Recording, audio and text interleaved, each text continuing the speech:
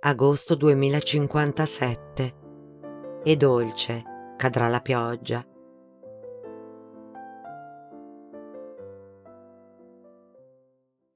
In sala l'orologio parlante cinguettava. Tic tac, sono le sette, ora di alzarsi. Forza, sono le sette. Sembrava temere che nessuno gli desse ascolto. La casa mattutina era deserta. L'orologio seguitava a ticchettare, reiterando il suo verso, destinato al vuoto. Sette nove minuti. È l'ora della colazione. Sette nove minuti. In cucina il fornelletto della colazione sospirò con un sibilo e fece uscire dall'interno caldo quattro fette di pane tostate alla perfezione, otto uova all'occhio di bue, sedici striscioline di bacon e due bicchieri di latte freddo. Oggi è il 4 agosto 2057, disse una seconda voce proveniente dal soffitto della cucina, nella città di Allendale, in California. Ripeté la data per tre volte, in modo tale che restasse impressa. Oggi è il compleanno di Mr. Featherstone. Oggi è l'anniversario di matrimonio di Tilita. C'è da pagare l'assicurazione, nonché le bollette di acqua, luce, gas. Dalle pareti un clic-clac di relè e di nastri mnemonici scansionati da un occhio elettronico. Otto e un minuto, tic-tac, forza, a scuola, forza, al lavoro, su, sbrigatevi, sono le otto e un minuto. Ma non si sentivano né sbattere le porte, né il morbido strascichio dei tacchi di gomma sulla moquette. Fuori pioveva. La cassetta del meteo sulla porta d'ingresso cantava Pioggia, pioggia, va via. Oggi galosce è impermeabile. E l'acqua tamburellava sulla casa vuota, con tanto di eco. Fuori il garage batté un rintocco ed alzò la saracinesca, mostrando l'auto in attesa. Dopo un bel po' riabbassò la saracinesca. Alle otto e mezzo le uova si erano raggrinzite e il pane era duro come una pietra. Un cuneo di alluminio grattò via gli avanzi verso il lavandino dove furono inghiottiti in un vortice d'acqua calda e sospinti verso una gola metallica che li mandò giù per poi evacuarli nel mare remoto. I piatti sporchi furono calati nell'acqua bollente e ne riemersero scintillanti ed asciutti. Nove e quindici, cantava l'orologio. Bisogna far le pulizie. Da una tana labirintica nel muro schizzarono fuori tanti topolini robot. Le stanze brulicavano di bestioline pulenti, tutte fatte di gomma e di metallo. Sbattevano contro le sedie, agitavano le spazzole baffute, lisciavano il pelo ai tappeti, succhiavano delicatamente ogni granello di polvere nascosto. Poi, come misteriosi invasori, ritornarono nelle loro tane. Gli occhietti rosei elettrici si spensero. La casa era pulita. Ore dieci. Dietro la pioggia spuntò il sole. La casa si ergeva solitaria in una città di macerie e di polvere. Era l'unica casa rimasta in piedi. Di notte la città in rovina emanava un bagliore radioattivo che poteva essere visto a chilometri e chilometri di distanza. Dieci e quindici. Partì il sistema di irrigazione del giardino. Mulinelli d'acqua come fontane d'oro che riempivano la dolce aria del mattino di tanti luccichii. L'acqua scrosciava sui vetri delle finestre, scivolando poi sul lato occidentale e bruciato della casa, dove il fuoco aveva corroso l'intonaco bianco. L'intera facciata era nera, tranne in cinque punti. C'era la sagoma dipinta di un uomo, intento a falciare il prato, la fotografia di una donna china a raccogliere fiori, poi, un po' più in là, le immagini incenerite, in un unico colossale istante, c'era un bambino con le mani alzate e sopra di lui l'immagine della palla lanciata, mentre di fronte c'era una bambina che si allungava per prendere la palla, che non sarebbe mai precipitata. Le cinque chiazze di intonaco, l'uomo, la donna, i bambini e la palla erano rimaste. Il resto era ridotto a un sottile strato di carbone. La gentile pioggerellina dell'irrigatore inondava il giardino di cascate di luce. Fino a quel giorno la casa se n'era stata in pace. Con estrema prudenza aveva continuato a domandare chi è? Qual è il codice d'accesso? E non ricevendo risposta dalle volpi solitarie o dai gatti lamentosi, aveva richiuso le finestre, tirato giù le tapparelle, con un'ansia di sicurezza da vecchia zitella, che rasentava un'istintiva paranoia. Ad ogni minimo suono la casa fremeva. Se un passero sfiorava la finestra, la tapparella scattava, l'uccello spaventato volava via. No, nemmeno un passerotto poteva toccare la casa. L'edificio era un altare con diecimila inservienti, grandi, piccoli, servizievoli, attenti, uniti in coro. Ma gli dei se n'erano andati e il rituale liturgico era continuato senza senso e senza scopo. Mezzogiorno. Un cagnolino tremolante che guaiva davanti alla veranda. La porta d'ingresso riconobbe la voce dell'animale e si aprì. Il cane, un tempo grosso e pasciuto, ora ricoperto di piaghe e scheletrico, varcò la soglia e si aggirò per la casa lasciandosi dietro impronte fangose, il che fece azionare un turbine di topolini arrabbiati, arrabbiati perché dovevano ripulire il fango e arrabbiati per la seccatura, perché non entrava nemmeno un frammento di foglia senza che i pannelli alle pareti si aprissero e i tupi pulitori guizzassero fuori. La polvere smargiassa, un pelo, una carta, tutto veniva triturato da minuscoli dentini di acciaio e riportato nella tana. Da lì, lungo le tubature che finivano in cantina, sospinto verso la sospirosa imboccatura di un inceneritore che se ne stava seduto come un perfido bal in un angolo buio.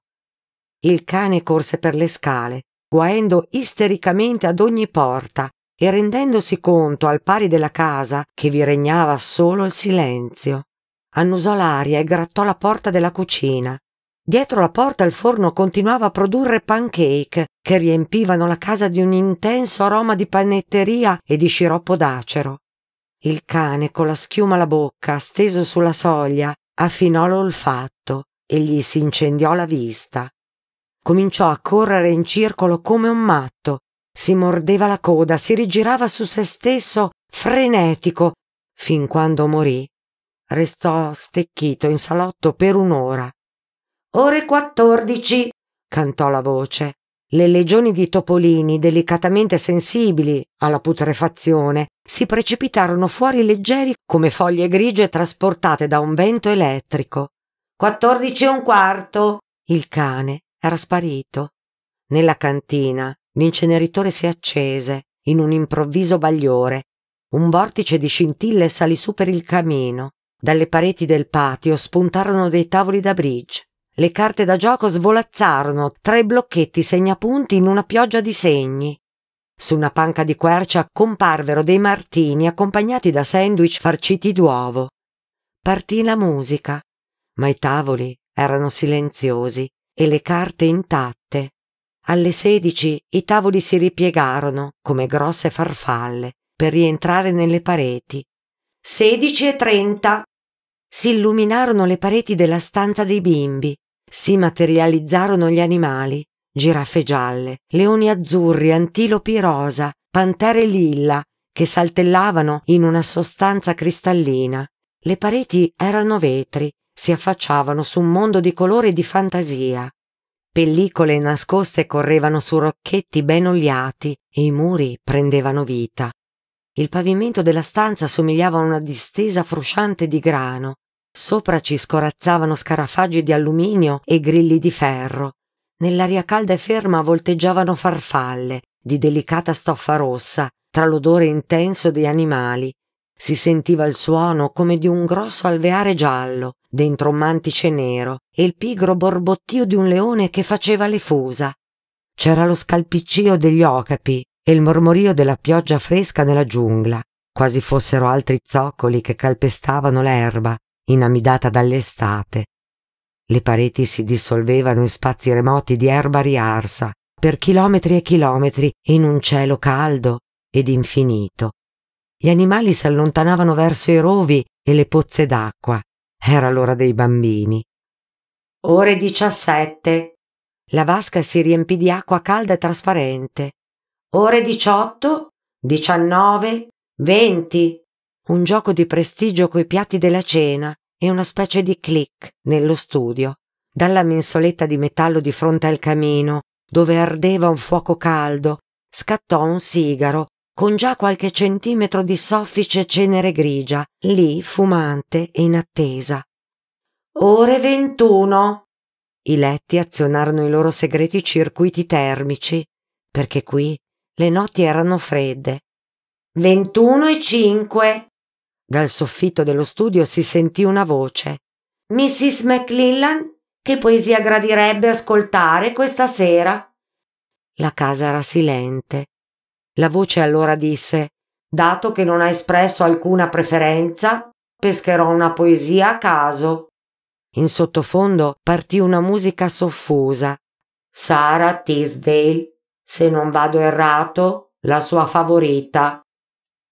Dolce verrà la pioggia e della terra l'odore, e le rondini stridenti in cerchio voleranno. Le rane negli stagni a notte canteranno.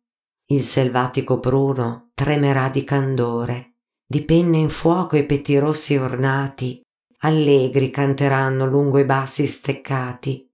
Nessuno più saprà di una guerra imminente, né la sua fine lo rallegrerà né albero né uccello, nessuno baderà alla stirpe degli uomini derelitta e morente. Anche la primavera, sorgendo a nuova vita, appena noterà la nostra dipartita. Il fuoco ardeva nel camino di pietra e il sigaro precipitava in un tranquillo mucchietto di cenere sul piattino. Le poltrone vuote si guardavano in faccia, mentre la musica continuava a suonare alle ventidue la casa iniziò a morire. Soffiava il vento. Il ramo di un albero si spezzò, sfondando la finestra della cucina. Una bottiglia di solvente per pulire finì in mille pezzi sui fornelli. La stanza avvampò in un istante. Al fuoco! gridò una voce. Si accesero tutte le luci di casa. Dal soffitto venne pompata l'acqua ma il solvente si era sparso sul linoleum come una lingua che leccava e corrodeva fin sotto la porta della cucina, mentre le voci non la smettevano più di gridare in coro Al fuoco, al fuoco, al fuoco. La casa tentò di mettersi in salvo. Le porte si serrarono, ma le finestre si infransero per il calore e si insinuò il vento a rinfocolare l'incendio. La casa perdeva terreno man mano che il fuoco, dieci miliardi di fiamme furenti, si aggirava con disinvoltura tra una stanza e l'altra e risaliva le scale. I topolini pompieri squittivano frenetici, precipitandosi fuori dalle pareti, sparavano l'acqua e correvano a prenderne altra. Gli spruzzi del muro generavano una pioggia meccanica. Ma era già troppo tardi. Da qualche parte una pompa si arrestò esalando l'ultimo sospiro. La pioggia antincendio cessò. Le scorte d'acqua che giorno dopo giorno avevano serenamente riempito vasche e lavato i piatti si esaurirono. Il fuoco crepitava per le scale, divorò i Picasso e Matisse nei vani superiori, come fossero ghiottonerie. Ne abbrustolì la carne oleosa, trasformò le tele in tanti delicati trucioli neri e croccanti. Ora le fiamme si stendevano sul letto, si affacciavano alle finestre, cambiavano il colore alle tende. E poi arrivarono i rinforzi. Dalle botole in soffitta sbucarono le facce cieche dei robot a sbirciare di sotto con le fauci che erroravano verdi agenti chimici. Il fuoco indietreggiò come farebbe anche un elefante di fronte alla vista di un serpente morto. Ora c'erano ben venti serpenti che sferzavano il pavimento uccidendo le fiamme, con un veleno chiaro e freddo, fatto di schiuma verde. Ma il fuoco era furbo, aveva spedito delle fiamme fuori dalla casa, fino alle pompe della soffitta. Un'esplosione. Il cervello della soffitta che manovrava le pompe conflagrò in tante schegge di bronzo che schizzarono contro le travi. Il fuoco si rintanò in tutti gli armadi per tastare i vestiti appesi lì dentro. La casa ebbe un fremito fin dentro le sue ossa di quercia, il nudo scheletro che si raggrinziva per il calore, i circuiti e i nervi che venivano allo scoperto come se un chirurgo avesse rimosso lo strato di pelle, lasciando che vene sanguinolente e capillari tremassero nell'aria rovente. Aiuto! Aiuto! Al fuoco! Scappate!